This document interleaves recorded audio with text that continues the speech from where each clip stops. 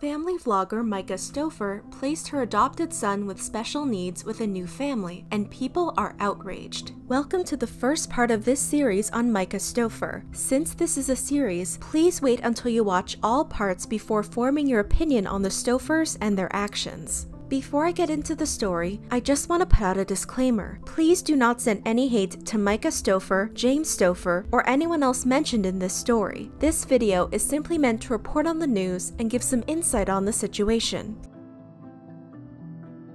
In order to understand the current situation, we need to go back in time. Myka Stauffer is the former registered nurse who has been posting lifestyle and parenting content on YouTube since 2014. She has also supplemented her personal YouTube channel with a family vlogging channel, The Stauffer Life. Her husband James also has a YouTube channel, Stauffer Garage, that has almost a million subscribers and several videos with millions of views each. In July 2016, Myka and James posted a video announcing they'd be adopting their fourth child, a boy from China. They also said they were planning on adopting another child from Uganda or Ethiopia in the future. Over the next year, Myka made 27 videos about her adoption journey. The videos have since been made private. Many of the videos posted around this time were monetized or sponsored. As well, her adoption videos kick-started the rise of her channel. Her views went up significantly after she started sharing her her adoption journey. She acknowledged this in one of her videos. I have so many viewers that found me through my adoption journey and they are here to kind of live through those adoption updates and kind of see how he's doing and watch him progress. If you are one of those people that are here for that, give this video a thumbs up. I know some of my audience is all about the cleaning and organization space and some people are like, I am here for that and if you are, I don't blame you. Myka also started a fundraiser to cover the adoption fees. In a video posted in January 2017 called China Adoption Journey Part 3, Myka spoke about the fundraiser. First thing I want to fill you in on is we are doing a little fundraiser for little we are going to be revealing picture to you guys into the world and we're so excited to share our little boy with you guys. Just so tremendously excited. We'll have a link to the fundraiser um, if you guys want to donate um, in the description box below, but we have a thousand piece puzzle and every time someone donates, each puzzle piece is worth $5.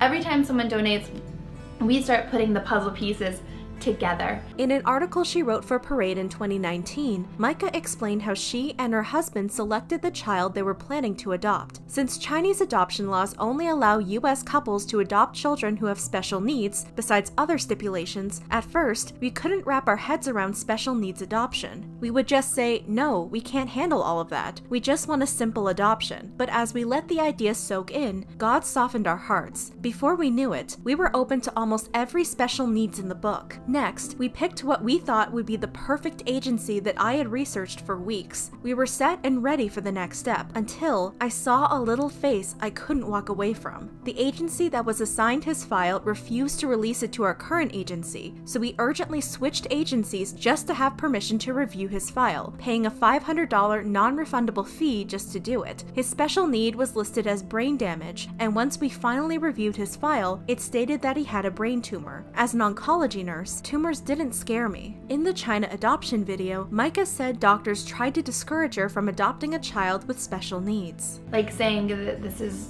going to be severe, this is going to be a lot, you know, we don't know what unknown elements could be. Um, and for us, it was hard. It was hard to hear somebody say that, but for me, more than anything, I go from one diagnosis to a totally different diagnosis. But immediately when she gave me another diagnosis, I looked at the bright side. I was like, you know, that could be awesome. There could be so many good things about that second diagnosis. And we asked for a couple more videos from um, the foster mama that is taking care of our little boy right now. And she provided them. And if anything, my child is not returnable. I So when I heard all of the things that that doctor was telling us, it kind of went in one ear and out the other. I wasn't in a state of denial. I accepted and took on everything that she said. And I sat down with Jim. I said, you know, worst case situation, if our little boy at one point in his life, he needed to be in a wheelchair and he needed full on care, would you still love him? And we, without a doubt in our minds, we knew no matter what state he came to us, that we would love him. And that's one thing that I'm starting to love about this process is the level of humble, becoming more humble, and the level of unconditional love that we're starting to develop for this little boy is just unbelievable. And I love that because for us, this new diagnosis didn't scare us. If anything, it kind of solidified that this is more our son than he has ever been, and we don't care what's wrong with him. She also spoke about being comfortable with different kinds of special needs. What we wanted to do, because we most likely knew we wanted a kiddo that was a special focus, kiddo meaning that they had a medical condition, or maybe they had a disease, or maybe they had a diagnosis that is unfavorable. Any of those things could be a possibility. So what me and my husband did is we started talking to physicians, we started having meetings, we started doing tons of different things so that we could really figure out which conditions, which systems in the body we were comfortable with. So, like I said, we sat down with tons of different physicians, we called different doctors, we chatted about different things we knew, just so that we could be really well educated on different conditions. So we came to a consensus that these are all of the conditions that we would be open to.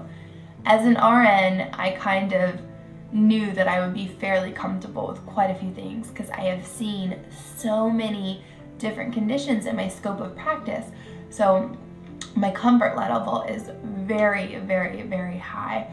Um, so for example, on the medical checklist for all of the conditions that kiddos could have, let's just say there's 100 conditions. Me and my husband were comfortable with 99 of the conditions. So we were very, very open. In a video titled, Would I Ever Adopt Again? My True Opinion About China Adoption, Myka said she adopted from China because she did not want to adopt within the United States, and it was one of the few countries that would allow her to adopt. She had no fertility issues, and she already had three children. That was something that I wanted to do. And when I talked to my husband, the first thing we talked about is foster to adopt. And for him, he felt that his heart wasn't quite ready for that because he didn't want a child to be taken away from him.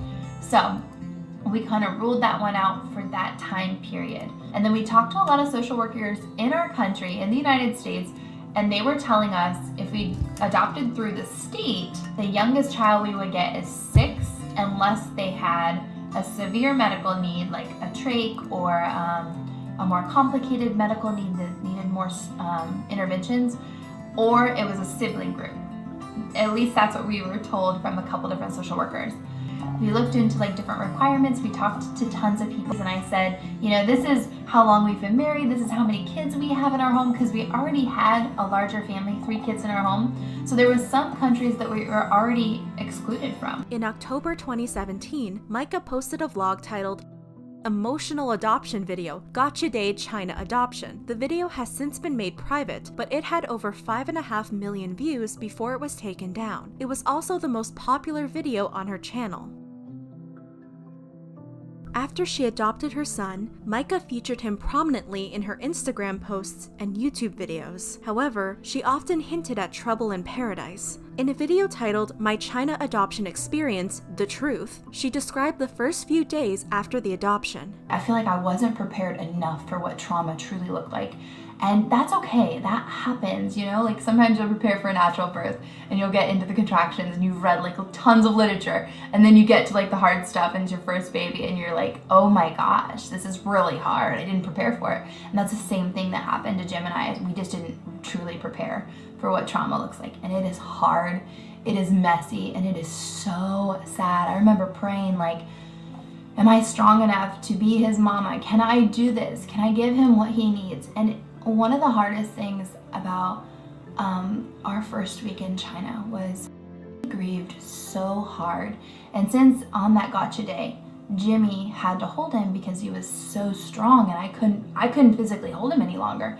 He started to look at Jimmy as his comfort person because he was strong, he was always holding him, and he started taking care of him. You know, from those first couple hours that we had him as our son in the hotel room, he, he initially took to Jimmy because Jimmy's obviously doing those things for him. And because of that, he completely rejected me on the most hardest level humanly possible. In an article Myka wrote for The Bump in 2019, she explained more about the special needs the child had and how he interacted with the rest of the family. In December of 2016, my husband and I decided to accept a file through our adoption agency, WACAP, for a beautiful one year old little boy who was diagnosed with a brain cyst. We had been told that, at two and a half years old, he spoke Chinese, could write Chinese characters for fun, and was meeting all of his developmental milestones. WACAP noted noted he had a small brain tumor, but that it didn't affect his cognitive abilities. But we saw behaviors firsthand that we couldn't explain. In fact, he didn't understand Chinese and was profoundly developmentally delayed. He would violently bang his head against the wall and bite and pinch anyone who came too close, including his new siblings. Many people tried to tell me it was just trauma or fear from having his entire life flipped upside down, and it would all fade away in a few weeks. That proved not to be the case. We waited and waited and never saw any change. After taking him to see several specialists, we discovered he had had a small stroke in utero. The neurologist felt he was going to be a perfectly normal child and would catch up to his peers in no time. But months passed and we saw no change in his behavior, so we began to seek out resources for therapies that were recommended to us by our adoption center physicians. And every therapist that treated our son hinted at sensory processing disorder, autism, ADHD, and global developmental delays. When the results came back, we finally had our answer. He had autism spectrum disorder level 3. The emotional hardships we endured that first year prompted me to do some soul searching and ask myself some really hard questions. Why am I so heartbroken over my new reality? I have a happy little boy who's no longer living in horrible conditions, and that's not good enough for me. What's wrong with me?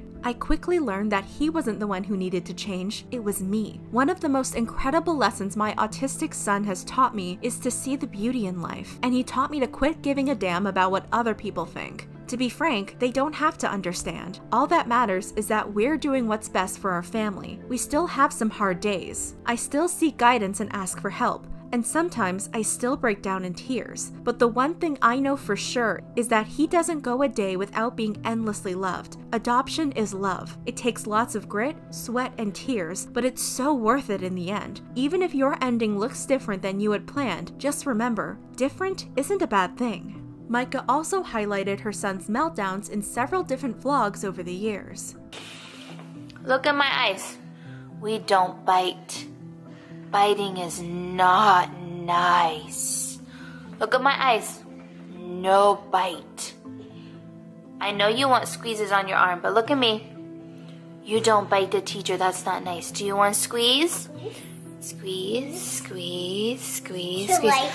Look at my eyes. You still do not bite the teacher. That's not nice. Come on, let's go get a snack. Come on, no bite. Biting is not nice. This is like eighth tantrum. No more. Come on, let's go. You're not gonna throw a fit when you don't get your way.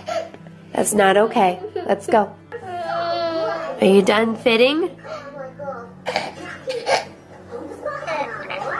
Are you done? Are you all done? Has had multiple meltdowns. I'm not having a good day We today. never tell you guys the truth. And that's why you don't see a lot in the vlogs. He's probably having a meltdown. Are you done? He's just Are having a bad yourself? day. He's a grumpy day today.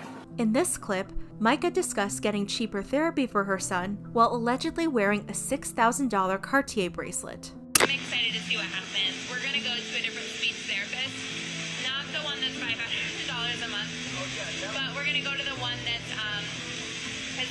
$50 for 30 minutes. And he starts preschool too, so he'll get therapy there. So it'll all work out.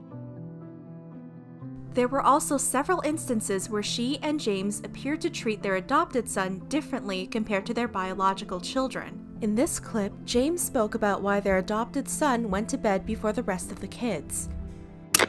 He is laying down, and guys, he goes in his room to lay down at 7:30 because I know people have been asking. He goes down usually early at the end of the day because his special needs, and in our house, he requires an extra amount of attention and just help with everything from Mike and I. So a lot of the times our attention is taken by him a lot more during the day, and at nighttime when he goes down at 7:30 because he's ready for bed, he's like, He's three and a half, but he's kind of like a one-year-old developmentally. So for him, nap time is like 7:30, a little bit earlier, and then we let the other kids stay up a couple extra hours just to hang out in our bedroom, watch a movie, and just kind of get that mom and dad time that you know kind of takes during the day. And it's not that we don't love or that it's not as special, but like you know, all day long needs just a little bit more attention. So it's our way of kind of giving the kids that as well at nighttime. So that's why sometimes you see go to bed before the other kids. As well, viewers noticed a difference between how Myka handled her adopted son's thumb sucking and her biological child's thumb sucking. In an update video, the adopted son was shown wearing a thumb guard, and Myka said she was trying to get him to stop sucking his thumb. If you guys notice, he has a little thumb guard on his hand. Per our dentist request, he recommended that we probably should get that or he might need some surgeries in the future, which I definitely am not pro surgery, so if I can prevent it, I will try my best. That was a big comfort item of his. He sucks his thumb quite a bit. So we've been trying to do lots of back rubs and different things like that to help and give him a new comfort item. The adopted son was also shown with duct tape on his thumb in a different video. But when her older daughter was sucking on her thumb in 2015, Myka said she hoped her daughter never stopped. I hope she never stops sucking her thumb. She doesn't do it in public, so I'm not worried about it. I love it and will be sad when she stops. That was the first thing in her baby life I feel in love with. I don't want to stop her. I want her to do it at her own time, especially in her situation with living in split home. I think it helps. However, Myka always emphasized throughout the years that she didn't regret the adoption and she would never give up on her son. Roughly a year after adopting her son, Myka announced she was expecting her fifth child. She gave birth in June 2019. After giving birth to her fifth child, some fans suspected that Myka lost interest in her adopted son.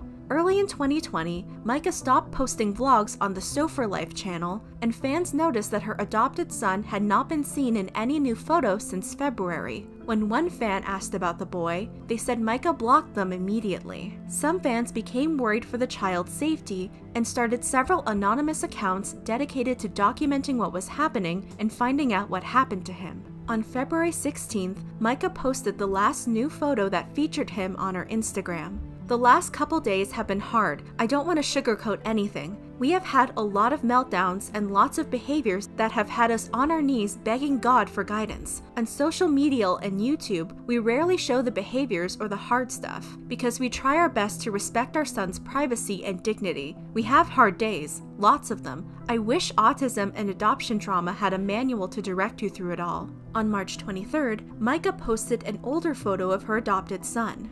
Last month was the hardest month I have ever had as a mama, and I'm still working through all of it. But instead of leading with my heart, I'm following yours. Adoption trauma, adoptee, adoptee voice, reactive attachment disorder. On May 14th, a fan commented on one of Myka's YouTube videos asking about their vlogs. Have you ever said why you guys stopped vlogging? I miss y'all. Myka replied, We have stopped temporarily due to some things going on with we hope to be able to post a video as to why in the next couple weeks. One anonymous account, Myka Stauffer fan, posted a screenshot of a DM from someone who claimed to live near her.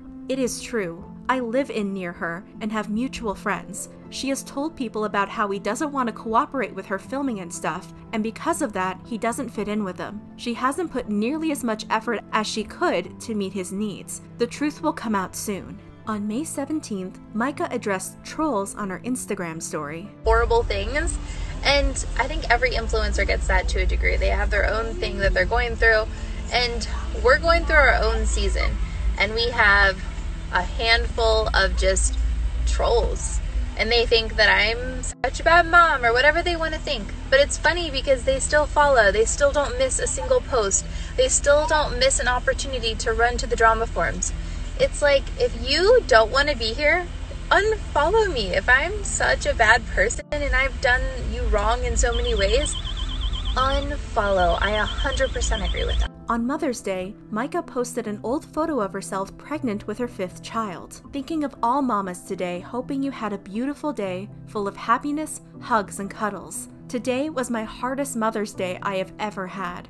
Just know that I'm so grateful for your heart and the way you mother. Motherhood is not always easy, sometimes it's hard, messy, and unpredictable, but I'm in awe at how many moms just lead with the most selfless heart and kindest soul. Just know you are doing an amazing job. On May 22nd, one of Myka's friends defended her. Well, first, don't tell me what to do. Second, unless you have any idea what their life was like every single day, don't judge. Were you there? Were you a fly on the wall watching the terror for the last couple of years? Have you ever spent even one minute with.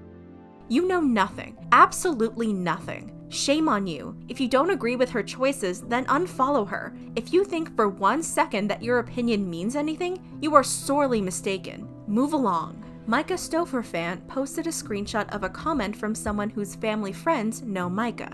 I wasn't going to say anything, but I feel like I should. Some family friends of mine are YouTubers. They have met Myka at conventions and such. They said she seemed really sweet and had a relaxing voice. Then, when she thought they were out of earshot, she snapped at James with this harsh voice. After she came home from China with the family told me that they suspected she adopted him for views. Myka had explained that views weren't going well until she started making adoption videos. I didn't want to believe them, but I have such a sick feeling about this situation. On May 23rd, Myka posted a photo to her Instagram feed addressing the people calling her out. This week has been such a learning experience. People can throw some really ugly words around and say completely hurtful and untrue statements, but instead of reacting and being hurtful right back, I want to step back and learn from that person in that moment. God forgives like no one's business, and just because naturally I want to defend or stand up for my character, it's not necessary. True character is known and does not need to be shown.